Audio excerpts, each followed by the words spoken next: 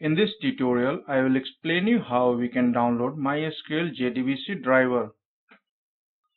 So visit the mysql.com website and this is the URL and then select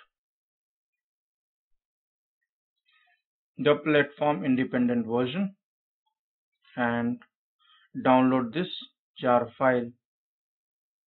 You can log in or you can use the existing username and password by clicking no thanks just start download. So here it is downloading the MySQL connector jar. So it is downloading here and downloaded. Extract the zip file. And here we have the MySQL connector bin.jar file. So it is very easy to download the MySQL. JDBC driver